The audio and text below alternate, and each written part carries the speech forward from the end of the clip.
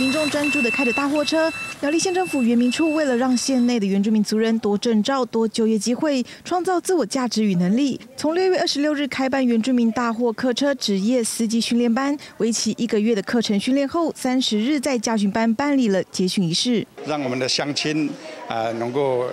多取得这个这样的这个专长啊，在他们的这个就业上就会比较这个方便啊，改善他们的生活呃环境。这次有三十位苗栗县内的原住民族人报名参与，在经过四十九小时的课程训练后，共有二十六位学员考取证照，还有专职家庭主妇也来报考，希望能有个工作经验，也能增加收入。但是要多一点就业机会啊，嗯，来增加收入。对对，嗯，那你这次考到了，那心情？